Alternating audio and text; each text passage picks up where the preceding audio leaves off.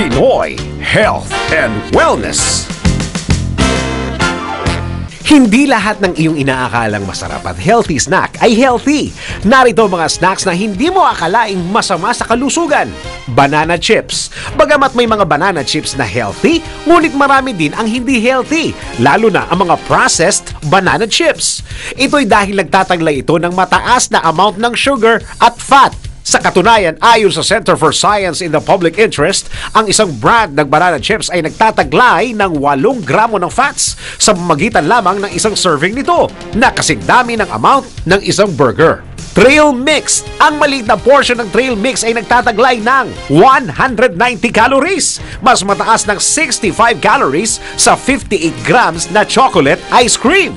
Ang ibang trail mix ay nagtataglay ng sugared fruit na hindi nakakabusog. Ang ending, uulit ka ng pagkain nito.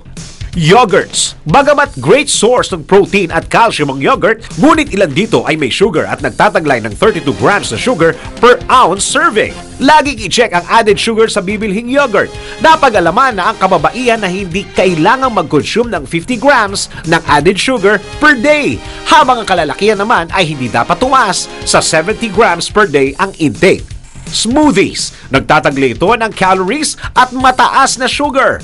Ang 250 ml na smoothies ay mayroong 34 grams na sugar na kasing dami ng sugar sa isang soft drinks in can. Pinoy Health and Wellness.